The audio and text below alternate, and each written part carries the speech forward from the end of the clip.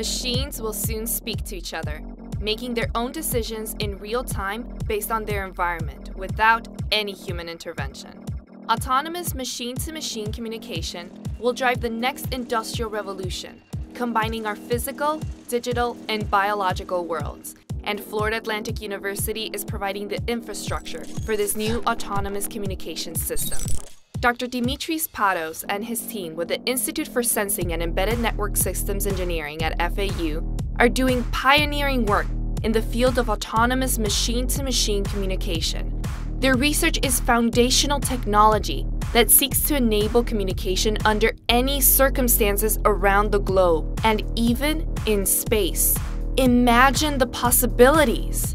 This new tech would permit connections in places that are normally problematic or unavailable, such as underwater, underground, and in remote locations.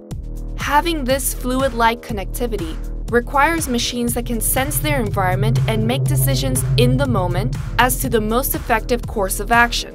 They do this by continually seeking out the best waveforms to travel along and make adjustments on their own when trouble is detected. Say, for example, one machine wants to connect to another. It would scan all possible travel routes, waveforms, frequencies, and pick the best one.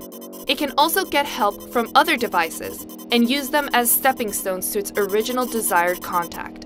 It builds its own communication network as needed on the fly.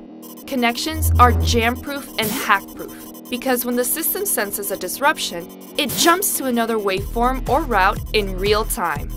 Dr. Pados is an expert in the field of autonomous machine to machine communication. He's working to advance the depth and breadth of communication technology while at the same time making its security impenetrable. These are exciting times to be doing research at Florida Atlantic University. Come join us.